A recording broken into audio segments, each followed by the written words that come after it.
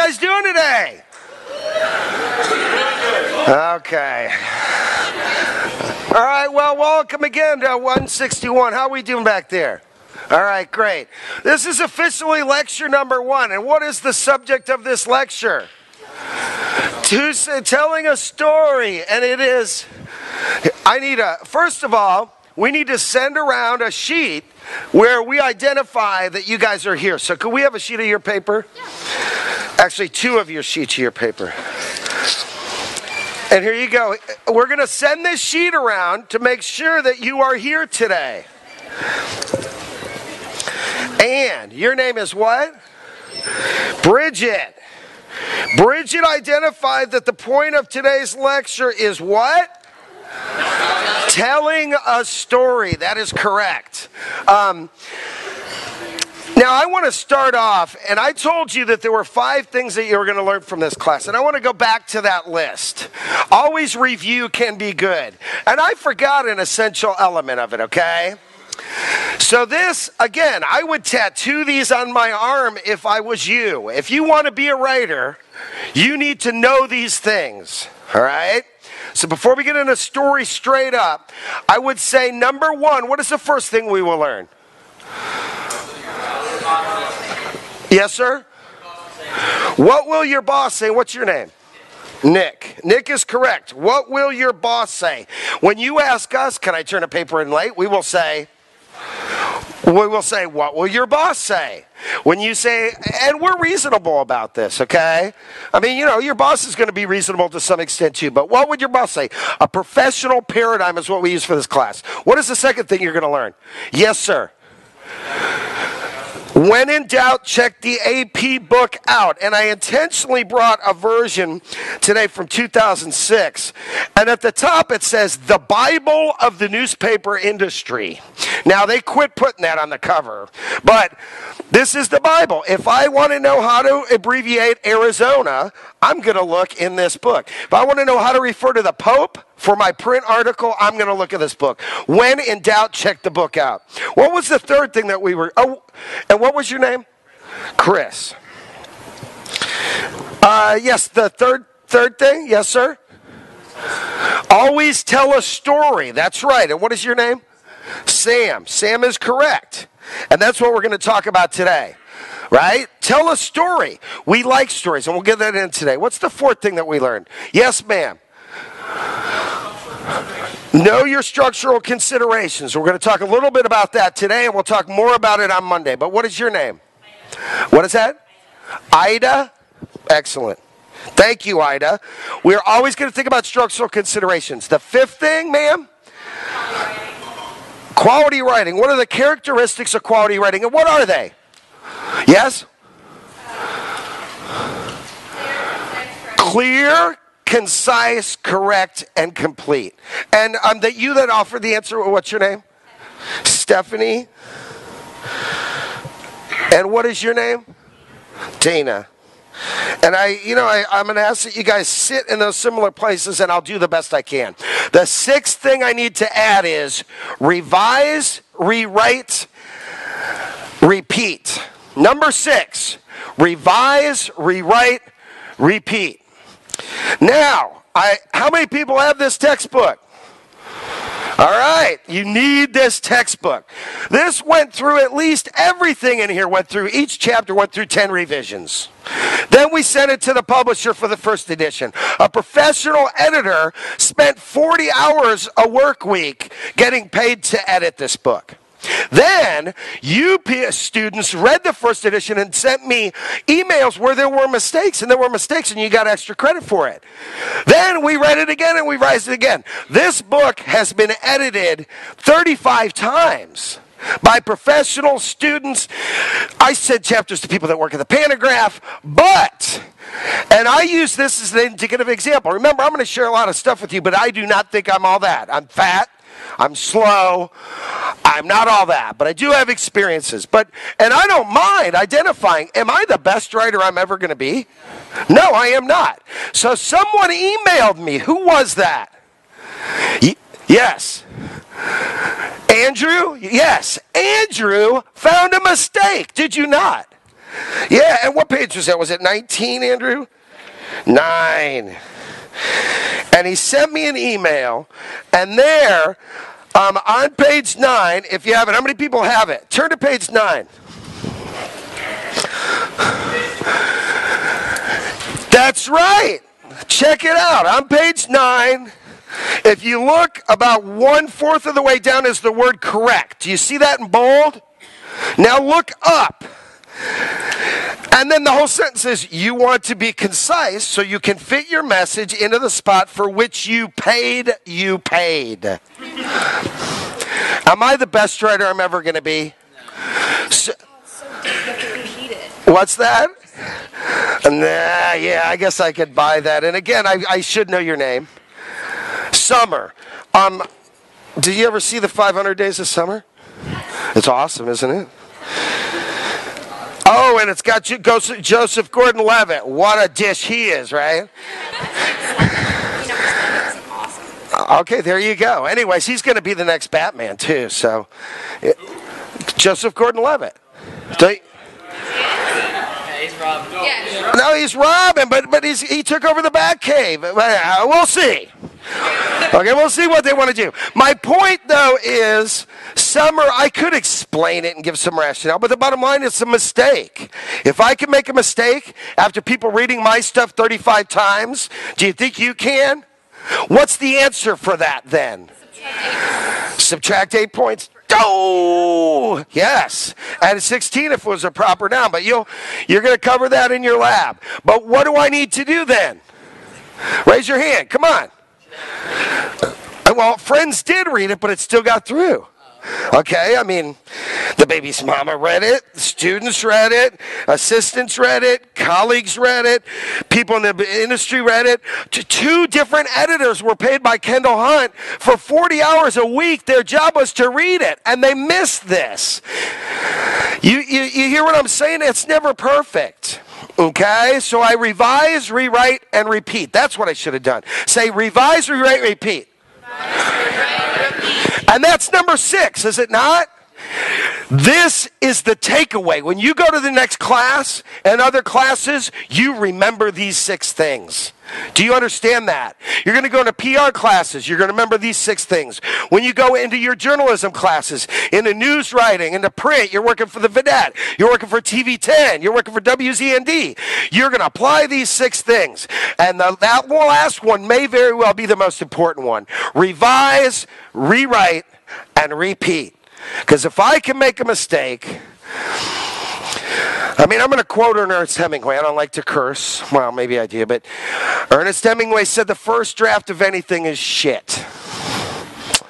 And uh, sometimes the uh, 28th version is still kind of stinky. So, so revise, rewrite, and repeat. Those are the six things, and you're going to learn those. We're going to internalize them through the semester, and then you're going to take that to your future PR classes, and you're going to apply those six things. Are you not? Yes. Okay, very good. Um, so you should have this book, and you will definitely need it for Friday. Um, on Friday, you're going to meet in your individual labs. You're going to look at the appendix. You and your lab instructor, big time. It's where it clearly identifies your responsibilities and role in this, roles in this class. You also need to bring a syllabus. And by way of a little bookkeeping, we have updated the syllabus. We just uploaded a new version this afternoon. You need to reprint it up, okay? Because we made some minor changes. Again, the idea is revise, rewrite, and repeat, right? And if I'm asking you to do that, we had to do that, and we did that with the syllabus today. And again, when I was at the seminary freshman year of high school, Father Gary Jarvis said, thinking people change their minds. So it's all tentative. What's that? Oh, yeah, thinking people change their minds. I said people. okay, okay, summer. Women. That's right. Um, as Katie Katie sings, you change your mind like a girl changes clothes, right? Anyways, my point is that we will continue to hone the syllabus, but you need to upload the latest syllabus and take it to your lab on Friday. Is that clear to everybody? All right. Now, there was a, the second procedural thing I do want to do before that I get into the meat of the class is I want to draw your attention to this wonderful little book. Somebody emailed me and said it wasn't available. I immediately, look, Nobody respects your opinion, your questions on this campus more than I do. I will try to respond to every email as soon as possible. And as a matter of fact, you're required to email me once during the course of the semester. You'll cover that on lab on Friday, but I need you to email me. Tell me the good, cool movie you're watching. Tell me you like Breaking Bad this week.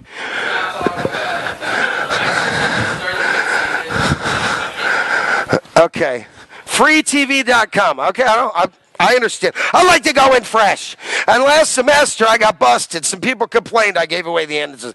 So I'll stop right now. Right? But tell me you like the episode.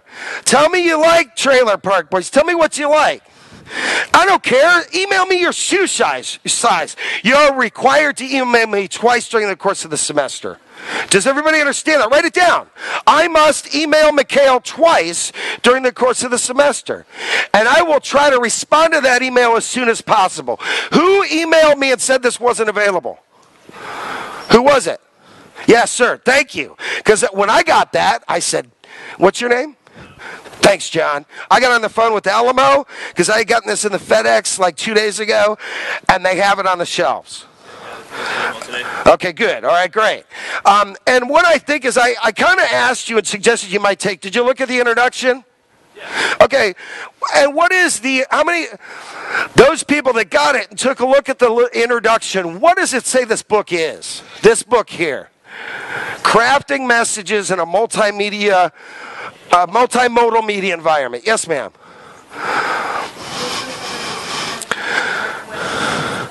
It's to work with that book. Convergent Media, you get my take on, on writing media. In this book, you get the take from professionals who have worked in the field. From, prof- is your name Joe? Sam, sorry, Sam. Sam Gamgee. Trying to remember. Sam, what, what, what, what kind of, what's your major? Broadcasting. So you're going to take uh, Laura Trendopoulos, maybe. You have it right now. She wrote a chapter in here about writing television news. Deb Lesser. How many people studying with her? There's a chapter in here from her about radio, writing radio news. And they're going to be guest lectures. And what this does is give us another perspective okay? And it augments what we already do. Now, the other thing that the intro does is it gives you a sense of the scope of this class. I mean, one of the reasons we're using this textbook is there is no textbook out there that covers the range of what we're covering. I mean, this starts with print, straight print, then feature print, then radio news, television news.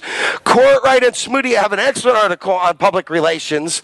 It has viral video, a chapter on viral video, social um, network writing, um, writing feature films, writing documentaries, and a variety of other things. So it gives you the, an idea of the full range of this course. Okay?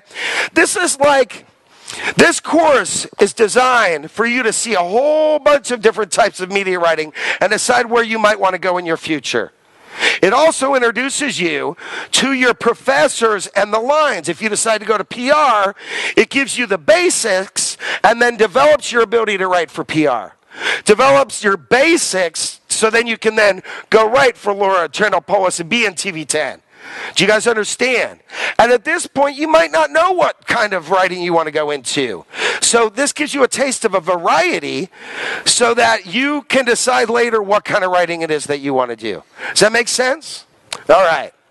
Now, let's then go to the beginning chapter. And I guess I asked you to read the front matter in this book, right? Convergent Media Writing. I ask you to take a look at it. Um, what did you get a sense about the introduction? First, the preface. There is the word that I introduced the class with, right? Arete, which means what? Ba- Sam. To reach, to become better. And I'm never going to be the best I can be, but I but a virtuous person according to the ancient Greeks always tries to improve. I'm not perfect, but I tr- perfectly try my best to become better. And that's the point of this class.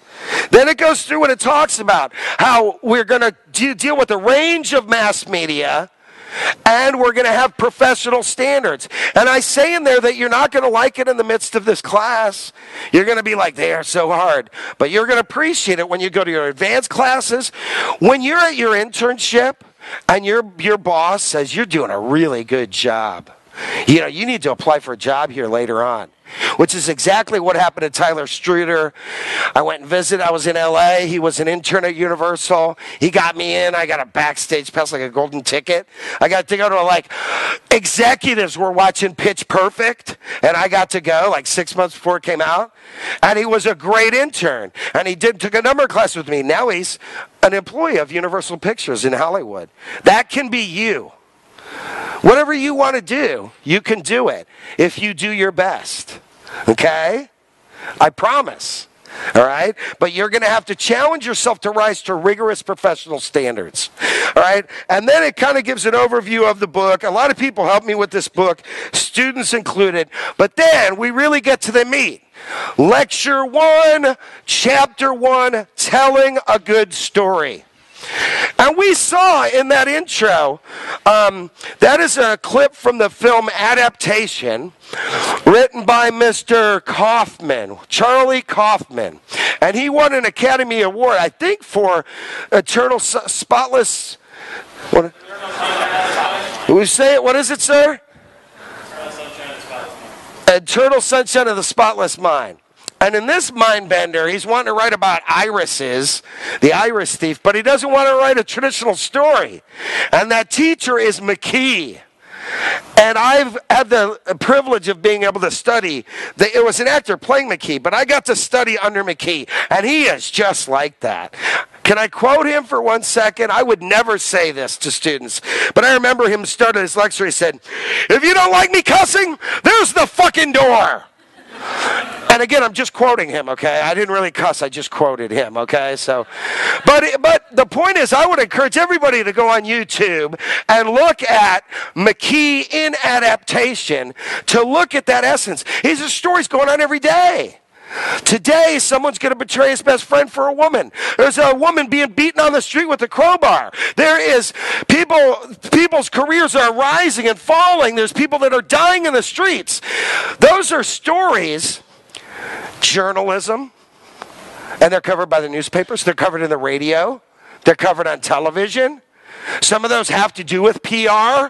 What is the politician going to do? How is his PR person going to explain that he betrayed his best friend and while his wife had cancer, that John Edwards was having a sexual relationship with someone on his staff? That's public relations, isn't it? And it's got to do with the story. Documentaries are all about stories. You're the television. We're going to do a television series, man. I'm watching right now. I think it's. I can't stop watching it. I got to hang out under a tree for an hour with Ewan McGregor. He's Obi Wan Kenobi. Okay, I'm in the hills, Oklahoma, hanging out with him. But he's got this great series I just got turned on to called The Long Way Round, where him and a buddy drive a motorcycles around the world, and it's a story. And I'm buying it as entertainment, man. I mean, I also like Orange is the New Black. I've been watching the Hatfields and the McCoys too. I, I don't know. It, it's on Netflix. If you got, you know, it's what is available on Netflix. It's kind of what I'm watching lately. All those are good stories, right? Argo, a good story. Um, Hugo, a good story. Uh, the, the, what, what's the movie about the guy that was with the tiger on the ship? Life of Pi is a good story. We like good stories. No matter what kind of mass media you write, you want to tell a good story. That's what will separate you from the rest. You could just give the facts if you're PR about Apple and all how good, good things are. But if you tell us a story about jobs, you put a face to the, to the uh, company and you tell us a story. It makes it so much more interesting. So we're talking about telling a story. And I will say initially, then, we're going to talk about thinking dramatically, structural considerations, mass media writer as storytellers, and then we're going to synthesize this stuff. The first thing I want to say is Dr. Kasale, when I got my degree at NYU, New York University, he said, John, you need to think dramatically. Think as a dramatist. And when I think as a dramatist, I have these elements within my um, my writing, in my story. Okay, now here, everybody look at me for a second. Everybody look at me. I do not want you to write everything that's down on this, this, this screen. I want you to write one of the things, then we'll talk about it. Then you write the next thing. Do you understand what I'm saying? Okay, so let's say we are right thinking dramatically. The first word we write is what? Protagonist. Write that word down. Now let's define it. Don't write the next thing, okay? What is a protagonist according to the text? Every story has one. Yes, ma'am. Stephanie's absolutely right. It's the main character. They make decisions that move the story forward. You, what's that? Pardon? Frodo Baggins is an example. Frodo Baggins, a definitely example. What's that? Yeah, definitely. Uh, Frodo is. Are we talking Frodo? Help me out. Is he Lord of the Rings? Yeah, man, he gets the ring. He's got to get rid of it. He'll give it to anybody. Do not dare me, Baggins, right? He tries to give it to Gandalf. He tries to give it to the elf princess. She's, ah, no. Nobody wants it. He's got to get rid of it, and that's his will or want, isn't it? To get to the Mount Doom, is that what it's called? And get that sucker in the lava. Even it happens, I don't want to give away the end, do I? All right, he gets killed halfway through the very first movie at the end. Uh, they call it the weed. They, they grow the best weed in the Shire. Uh, yeah, yeah, yeah, Woody, well, Woody's asking me, "Can you blow smoke rings like like Gandalf?" And I'm like, "Gandalf didn't blow smoke rings. He blew ships." And then he was like, "Oh yeah." But anyways, definitely he's a protagonist. Now the protagonist is usually a good guy, but not always. I think of uh, um, yeah, man. Heisenberg is Walter White a good guy? Well, he may have been at the beginning, but when he let Jesse's girlfriend choke on her own vomit to death. Spoiler alert. I mean, it was in it was in season three. Okay. You guys don't want me to give away the the end of Wizard of Oz? You haven't seen it yet. I mean, you got to cut me some slack here. But who remembers that moment? That's when he became bad. I think he lost his soul right there, man. Uh, okay, well, uh, we can debate it. Uh, what, what about Tony, Tony Montana? First you get the money, then you get the power, then you get the women. This is Scarface. How many people have seen it? He's not a good guy, but he is the protagonist, isn't he? Because he makes, like Stephanie said, he makes the choices that move the story forward. All right? What is the second thing we are now going to write down? Will or want. Our protagonist has a will or want. Ewan McGregor's got a desire to drive that motorcycle around the world. Andy Dufresne, what was his will or want in Shawshank Redemption? Get out of jail. Bilbo Baggins, what is his will or want? Get rid of the freaking ring. Um, uh, hangover. What's the what's the will and want? They need to find Dougie, Dougie, Dougie, Dougie, right? And they need to find the right Doug, not the black Doug with the roofies. They need to find their friend Doug who's getting married, right? They have a will or want. Every great story has a will or want. Okay? And that is something, somebody tell me what a will or want is. In your own words. Yes, ma'am what they're desiring to do. I mean, uh, Ben Affleck in Argo, he wants to get those people out of Iran, right? Um, in A Life of Pi, this guy just, he wants to not get eaten by the tiger and he'd like to live, right? Every story has a protagonist that has some will or want, okay? Now, the set, third thing here is what? Where they accept their will and want. John is right. It's when they recognize their will and want and then recognize how hard it's going to be. Frodo recognizes he's got to get rid of that ring, but it's going to be a long haul, man. They're dealing with ring wraiths. He needs Sam Gamgee's help, doesn't he? And then I don't know if Merry and Pippin help anybody really, but well, inevitably they do, right? Merry and Pippin each play their own role. I mean, what if they didn't get the Ents, right? Don't you love that line? The further from danger you are, the closer to harm you'll be. And that doesn't even make any sense. But the Ent's like, you're so small, you must be smart. So, okay, cool. You know what I'm talking about? Everybody who, who saw that, I'm not giving it away. What's an ant? A giant tree. Remember, they took on Saruman's whole business. They tore down that. If that didn't happen, the whole Middle Earth may have gone bad. Everybody played their role, okay? Um, but the realization by Frodo, I can't do this alone. That's why you need the Fellowship of the Ring, right? Um, Argo, Ben Affleck, he realizes what he's got to do, but he know he needs the help of Hollywood, good Goodman, right? How many people saw Argo? A few of you, you know what I'm talking about. He realizes what he's got to do, but he knows that bicycles driving to Turkey ain't going to do it. Right? Did you see it? Okay, well, you need to. It's the best, it's the best picture last year. How we getting? Audio coming through good? Excellent. Um, so there's a realization by the main character of what they're willing on and how hard it's going to be. Now there comes a point of the major dramatic question, which is just, will they achieve it? Will Frodo get destroy the ring? Or is Sauron going to get it, right? Did you see Lord of the Rings?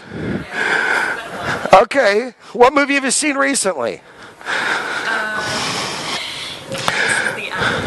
Oh, this is the end. Excellent. Are they going to all die and go to hell, or are they going to live and go to heaven? Right? Isn't that their question? Are we going to live? And Franco's almost going to make it, and then he's like, and he gets pulled back down. This is really, I think, a hilarious movie, right?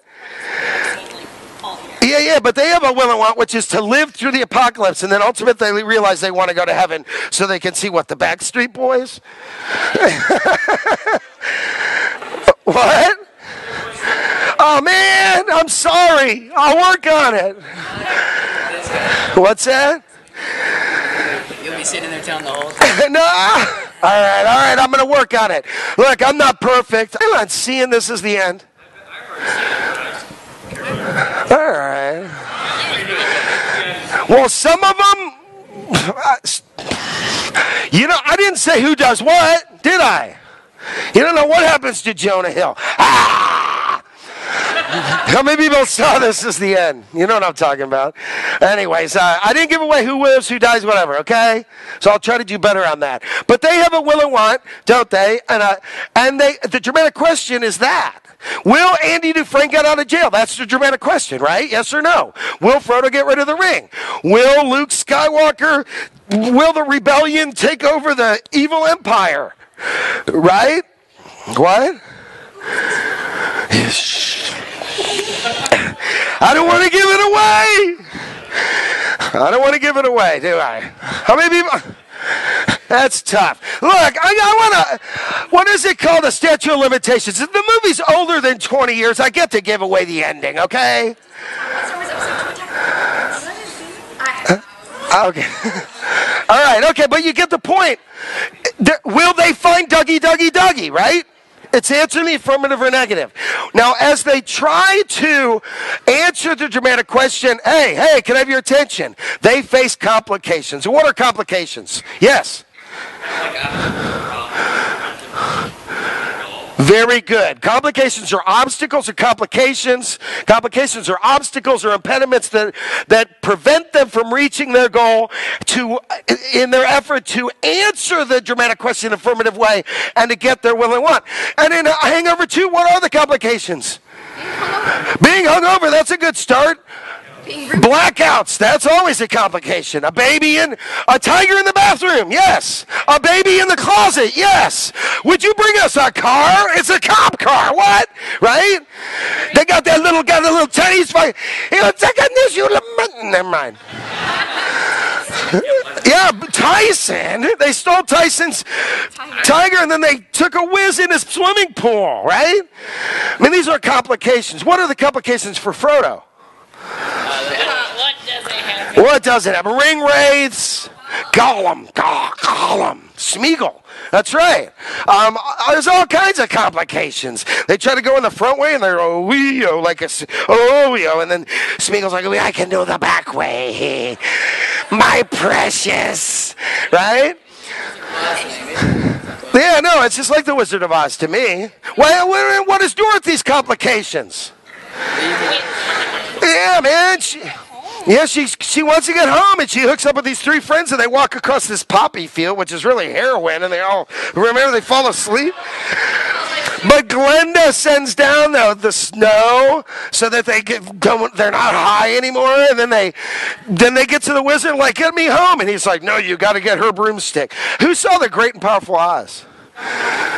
Okay, well the kids and I kind of liked it, and, and the ending, never mind. Have complicated. Andy Dufresne, right? We talked about it. He's got the warden. He's got, um, you know, the sisters. Is that what they're called? He's got some guy that's got the truth who could get him out, get shot. He's got the guards. Complications. Every story has complications. Okay. In the show I'm watching last night for too long, the long way around. Ewan McGregor's trying to drive across the world, all around the world, and in Mongolia they just don't have roads. And that's a complication when you're trying to get a motorcycle around the world. You know what I mean? Because you get stuck in a swamp. And every good story has complications. Now, what the hero does, or the protagonist, may not be a hero, but the protagonist has to overcome those obstacles. And now let's talk about the word climax. What is the definition of the climax? Yes, ma'am. Uh, Ada. Ida. You reach the peak of the strain. Let's say, let me say this: the peak of the intensity of the tension. It's the peak of the tension related to the dramatic question. Right? This is where it's like, I'm sorry if you haven't seen it, you need to see it, but I don't care. It's in the, um, the Empire Strikes Back. I mean, Luke is there and he's fighting Darth Vader, and Darth Vader cuts off his hand, and Luke is holding on, and, and Darth Vader says, Luke, I am your father. No! You search your feelings, you know it to be true. No! Join me and we will rule the universe, bring order to the universe, which is another way of let's be Illinois fascist, right? But we're being, he's, he's got a choice, right?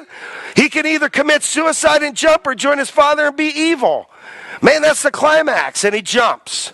Now, luckily, his friends are down there somehow.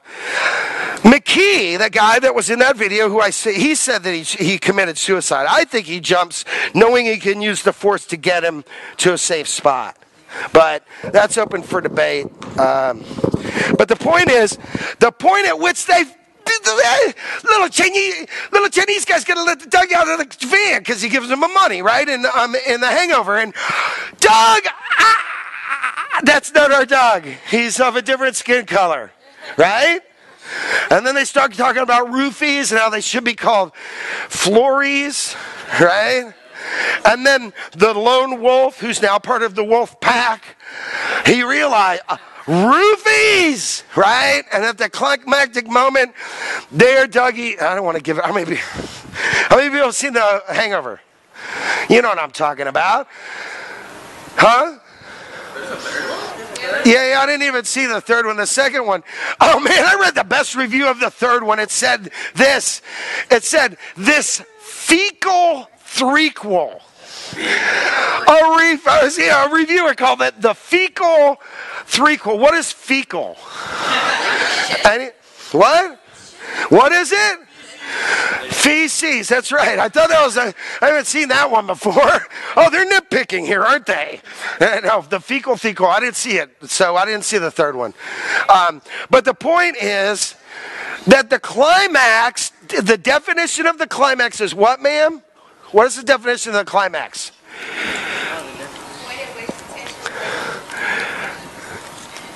That's right. We want to know what's right at the edge. Where will we know whether it's going to turn out one way or the other? God, for me. Anybody see flight? Oh man! And that bottle of vodka's on that mini fridge. Oh, I'm stopping. Or in Lincoln when he almost gets the 13th Amendment. I can't tell you the end. No, no, never. you don't want to see it. But that moment, you know what I'm talking about? Where, where they go and find Andy Dufresne's cell, and Red is like, oh my gosh, I gave him that rope yesterday. And we don't know what happened to Andy, right? Can I give away the end? How many people have seen uh, the Shawshank Redemption? Okay, you know. And that's when the warden throws that rock through the picture of Raquel Welch.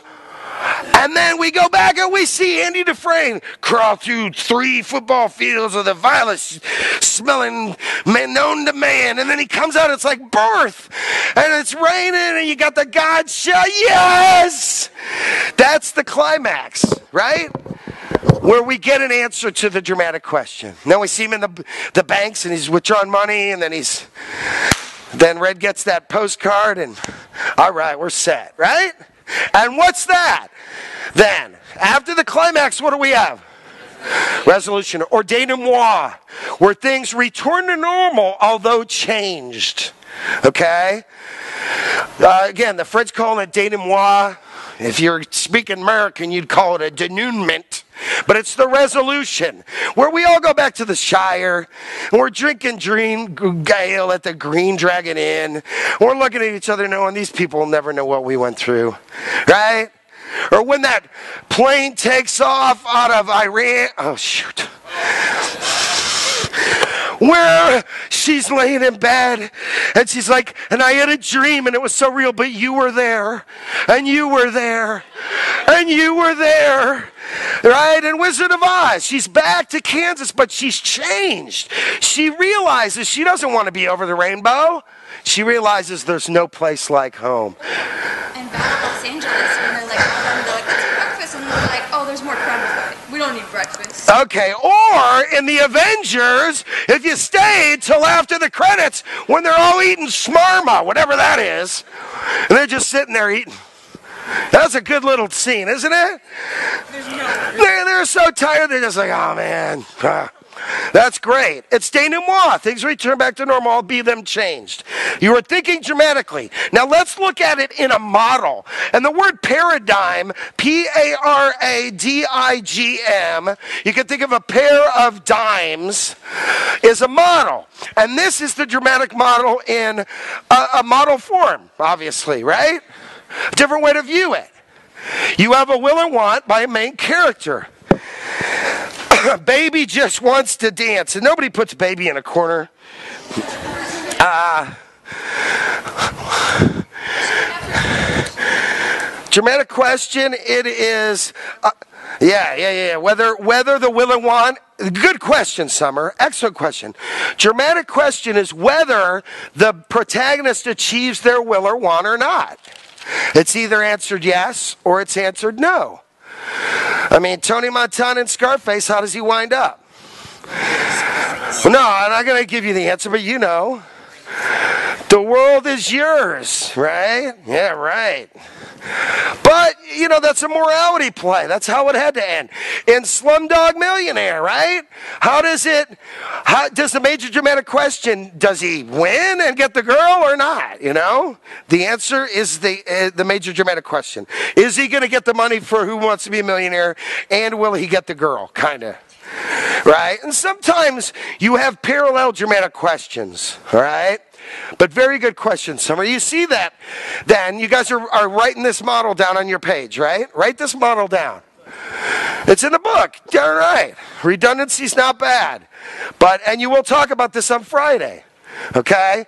So Andy Dufresne wants to be uh, free of his guilt and then free of the prison. It's inevitable he either is or isn't. A dramatic question is he going to get out? He realizes, man, I got a lot of time here. I might be able to dig my way out, but we don't know that. Then we see his complications with the sisters, with the warden, which is being in prison, the hassles of it all. Um, at the climax, he's gone. And then we realize that he escaped. And then in resolution, Red gets out and Red joins Mexico, uh, where Andy's working on that boat. Ah, retirement. I can't wait. My career goal. Now, uh, do you guys understand how in any story, and this can be a feature about Lance Armstrong, he's kind of had some difficulties lately. This can be a TV show, uh, Jersey Shore, right? Is Snooki going to wind up face first drunk at 11 in the morning in the sand, right? Are Ronnie and Sammy going to beat each other to death, or will the cops be called, right? Um, uh, will will the drag will the dragons grow up? Right? Yeah. Will she? Is she really going to trade the dragons for this, her biggest dragon for those? I know, but I can't be too. If I'm too recent, you guys are going to throw rocks at me, okay? Yeah, I mean, how about the red wedding? Oh my goodness! Was that a shock? Ah, I'm not going to tell you. That's all I'll say about it. But so there it is in a dramatic form. Now, you guys understand, you listen, we tell stories. I say in there, okay? Um, here, check this out for a second. I lost my car keys. No, I lost my house keys. I got locked out of my house. Is that a story?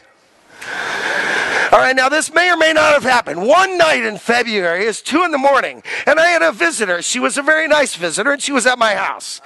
And I went outside, and I took a broom, and I didn't have my j- uh, jacket on or anything, and I was a gentleman. It was snowing really bad. It's two in the morning in February. So I brushed off her car as a gentleman, and she got in her car, and she drove off and waved. And then I turned around, and I saw that she had shut and locked my door. Oh! No keys! Oh my goodness. What am I going to do? I'll call one of my friends. How many? I don't have my cell phone. I'll just use call their numbers on another phone. How many of you guys know your friends' phone numbers? Nobody. You know their name and you do it on auto dial. So there I am. It's freezing. It's like five degrees. It's snowing. I don't got a jacket on. Um, I'll walk to the hospital because I'm right by BroMenn, actually. And I start walking. I'm like, well, who the heck am I going to call? Well, my baby's mama, she lives two more blocks. I'll go there and knock on that door at 2:30 in the morning.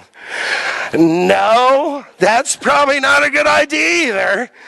So I walk back to my place and I, I see that the people that live across the street, I don't know them, but I wave at them. Their lights are on.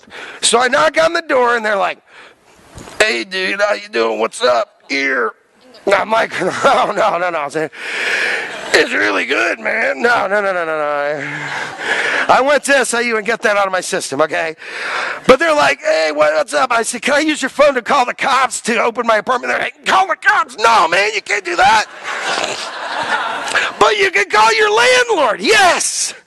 The things that pop out of people's head when they're when they're relaxing and smoking the best weed in the Shire, right? And, and so I call First Sight, and the guy's like, he's like, in, in, I'll be there in 20 minutes. It'll cost you 25 bucks. All right, he comes up, opens it for me. I'm in my place. Life is good. All right. Do you see the difference between me telling the facts and me telling a story? Now, all that may or may not happen, okay? I don't want to go on the record on any of that. Right? But if somebody asked you the first time, has McHale ever lost his, his keys to his place? You would go, I don't know. But now, after I told you the story, can you, what if somebody said, did McHale ever lose his keys? What would you say? Yeah. And you know why you're going to remember? Because I told you a good story. So a story's not only informative, but it's also, and it's not, or it's not only entertaining, but it's also informative. And then it might serve, serve a sermonic function where it's persuasive. If you're going to go outside to sweep her snow off her car, dude, be a gentleman. But make sure she doesn't lock your freaking door, okay? You know what I'm saying? Uh, but but but you guys know. You see, we are storytelling and listening creatures, and it helps us remember. Okay, that's why story is so important. Now, whenever you write a story, write down you want to think about structural considerations in the story. Okay? Write that down. Structural considerations in the story. The first of these structural considerations is unity. What is unity? Yes, ma'am.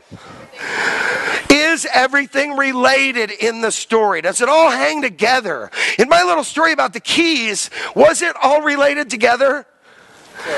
Close. And some of it, the fact that it was my baby's mama who I had.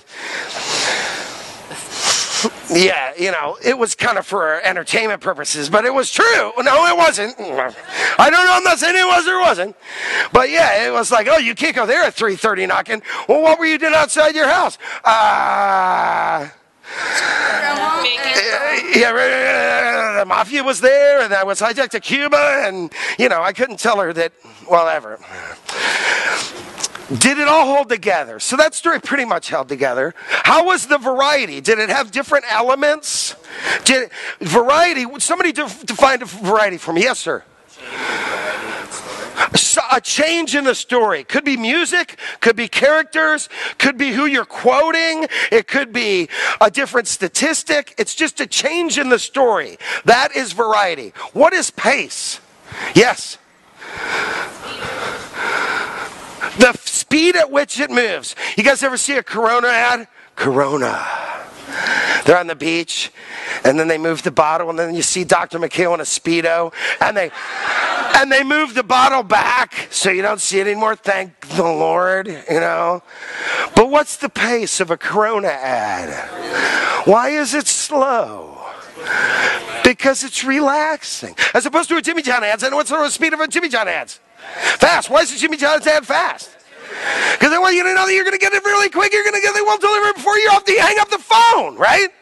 So pace needs to be appropriate for the message. Then finally, what is this last thing? Climax. And what is climax? It's what? Yes, ma'am. Wait, this ma'am. What is climax? The point at which the dramatic tension is the greatest. That's right. And that leads right back to storytelling, doesn't it? So we know structural considerations. We'll continue to talk about these. Go to the next slide for us. Go, yeah, just go blaze through them.